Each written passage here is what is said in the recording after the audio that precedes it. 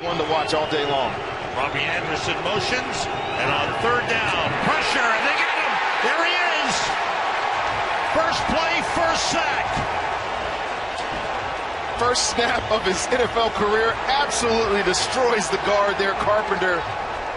And when you get immediate pressure on your quarterback, I don't care how good of a scramble you are, you can't get away from it.